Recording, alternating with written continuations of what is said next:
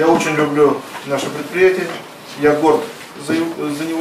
И я скажу так, спасибо вам. Мы любим свою команду нефтехимик. Все четко по инструкциям. Просмотр фильма «Техники безопасности», инструктаж по охране труда и облачение в одежду заводчан. Уже через пару минут хоккеистов было не узнать. С противогазами в сумке, как истинные нефтехимики, они отправились в путешествие по промышленным объектам акционерного общества. Каждая пятая покрышка, кстати, на земном шаре сделана из э, каучуков Нижнекамск нефтехима. По пути до места назначения главный инженер объединения Ирик Аглямов рассказал хоккеистам про каждое подразделение и получаемую продукцию. Первую остановку «Волки» сделали на заводе синтетического каучука. При входе спортсменам заводчане приготовили плакат, где хоккеисты оставили свой след. Гостям рассказали, как и для чего делается каучук СКДЛ. Любознательности волков не было предела. Первый раз я на таком мероприятии, на такой промышленности. И Как-то для меня это вообще это впервые, как-то, ну, грубо говоря, дико все это увидеть, как все производится. Очень интересно, конечно, я рад, что приехал сюда. Очень прикольно. Самые смелые решили даже помочь нефтехимикам уложить брикеты в контейнеры. На самом деле очень тяжело вот так вот целый день кидать эти брикетики, так что парни молодцы, я считаю. Но мы со Степой справились. Я думаю, что если бы у нас была бы смена со Степой, мы бы нормально кидали бы.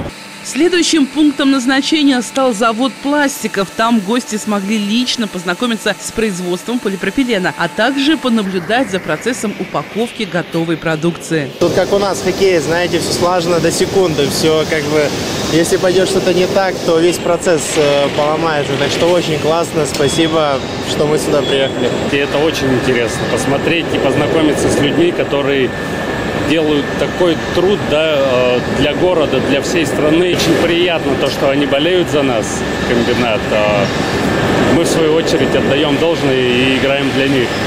После плодотворной рабочей экскурсии хоккеисты подкрепились в заводской столовой. Все остались сытыми и довольными. Завершающей стала встреча с фанатами. В актовом зале хоккеистов ожидали с нетерпением, ведь не каждый день увидишь любимого игрока у себя на работе. Беседа получилась душевной, заводчан засыпали вопросами, а те, в свою очередь, подарили билеты на следующую домашнюю игру и даже обещали вернуться. Очень много интересного, э, механизированного. У нас нет такого механизированного, у нас больше фи- физический труд. Наверное, ребята хотели бы, особенно в летний период, чтобы их сменили роботы.